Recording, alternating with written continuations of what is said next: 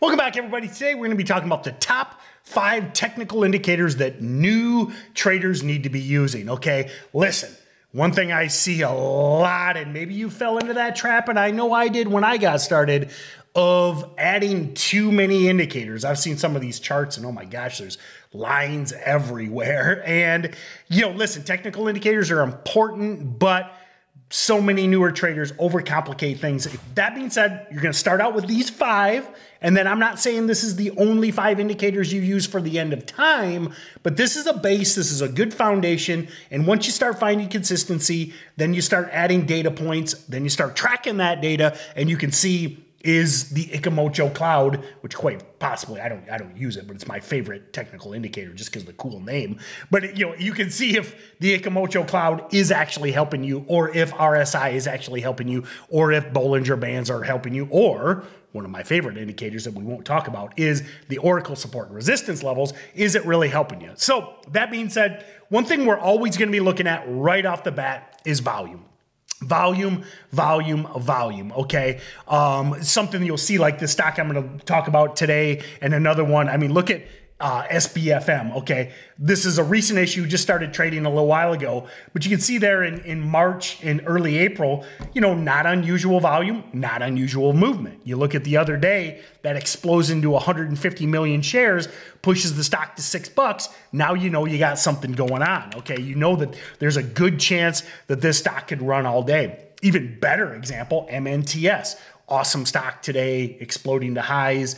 And I mean, look at this thing. So this is a aerospace company, long-term downtrending stock. I mean, look, listen, these volume candles are correct. Okay. This isn't like you, you can see them. They're itty bitty. Okay. This thing did have volume, but then you look at today, they dropped news that they've got a deal with SpaceX, Elon Musk's company, depending on when you are watching this.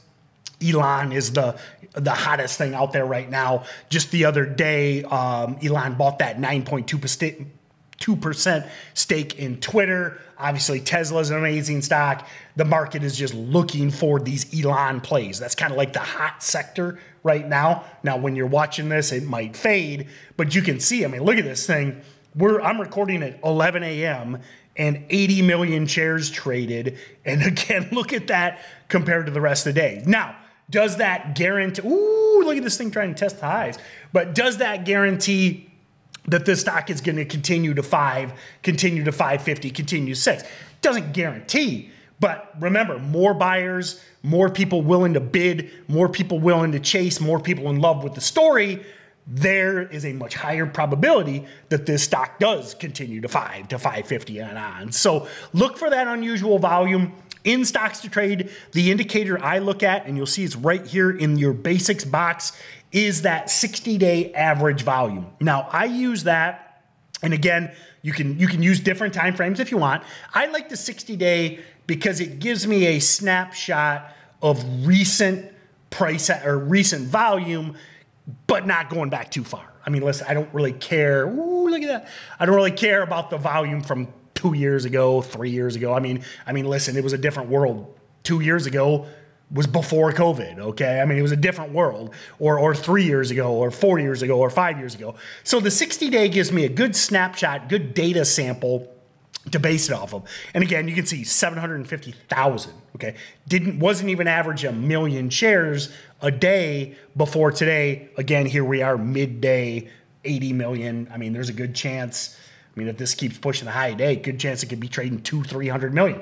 By the way, drop me a comment. I am recording on April 7th, 2022. How many shares did uh, MNTS trade today? Drop me a comment. All right. The other thing is use candlestick charts. Okay. Um, I know if you're new, if you're on Robinhood currently, you know, Robinhood is only line charts. I'm not I'm not a Robinhood hater. I actually think Robinhood is a great brokerage to learn from. I mean, at the end of the day, if you're new, the free brokers are great. I mean, I know they're they're selling your order flow, and I know I remember the the GameStop debacle and, and locking you out of trades. But I mean, listen, if you're brand new and you're trading a couple hundred dollar account because you're trying to learn, free trading is huge, huge tool. I mean, I look back when I got started you know, commissions were way higher, you know, 15 years ago.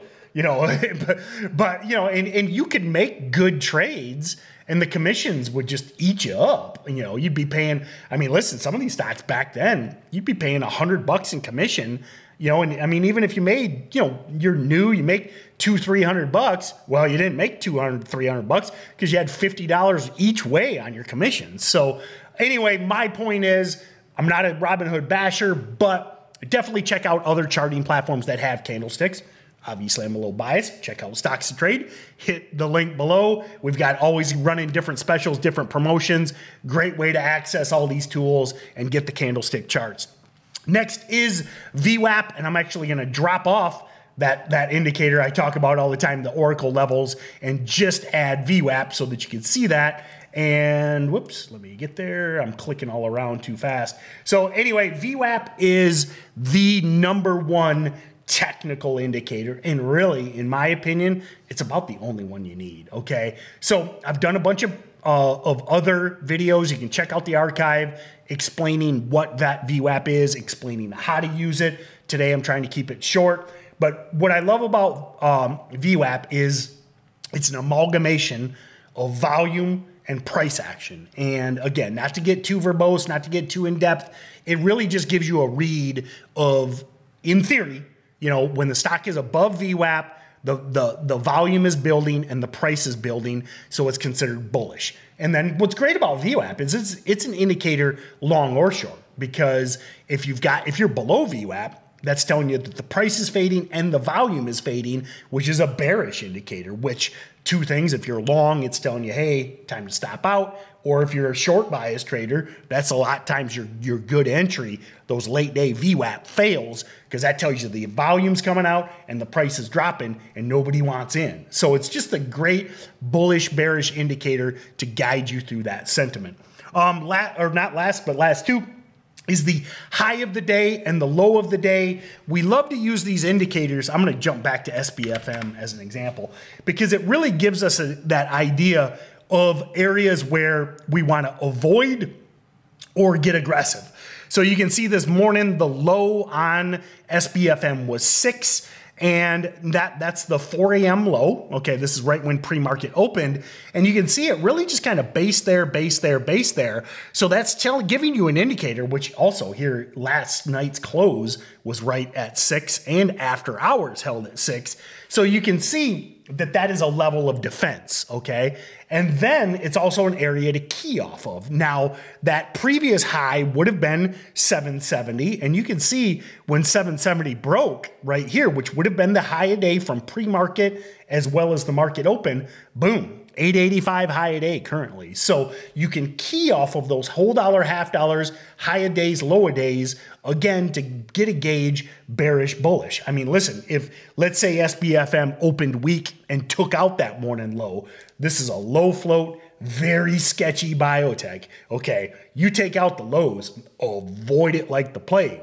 Now, you're breaking that high, especially that pre-market, you know, that 830 high right here Again, at that 775, which corresponds with last night's highs as well, that's a big break. And you can see it blows up to 885. Now, right here we are. Woo, we're consolidating at VWAP. VWAP's currently 790, my favorite indicator. And then we're going into that sideways action, which again, check out the archive. We're setting up for that VWAP hold high daybreak. I've done about 10 videos on that. But the longer this consolidates at VWAP, the more you can trade against that 880 level for that breakout. And then the last one is that opening price or what I call the red to green, green to red line, or the previous day's close.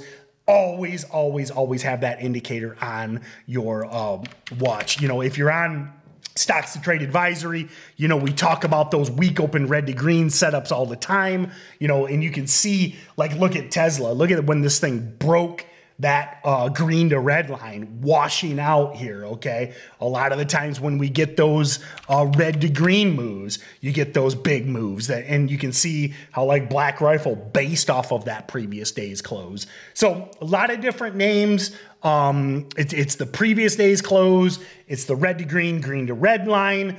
Um, and keep in mind, this gets confused a lot, and I don't blame you that red to green, green to red line, previous day's close is always the 4 p.m. Eastern close. Okay, a lot of traders don't trade in after hours. So a lot of people get tripped up and they think the previous day's closed is based on the 8 p.m. Eastern close, which, you know, if you're trading NASDAQs and NYSE stocks, you know they trade all the way up to 8 p.m. OTCs don't, but the, the listed stocks do. So remember that is always based off the 4 p.m. Eastern previous day's close, and those are the five indicators you need to use. And really, I mean, I am telling you, and you can choose to agree or disagree. I love to debate, I love to argue. But until you're consistent, okay, until you're consistently growing your account, until things really start clicking, don't add more. I know it's tempting. You'll watch another YouTube video, which, hey, take advantage of all the resources and you'll see adding all these lines and doing all this stuff. Don't fall for that temptation. Once you get consistent, then look to branch out.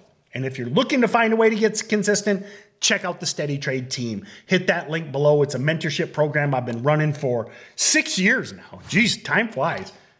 Jesus, six years. I'm like 88 years old by now. Anyway, I've done three, almost 3,500 webinars. I'm live twice a day, every single day, and it's real. It's live and interactive, and it's the best way to become a consistently profitable trader. Check out the Steady Trade team, and I'll see you next time.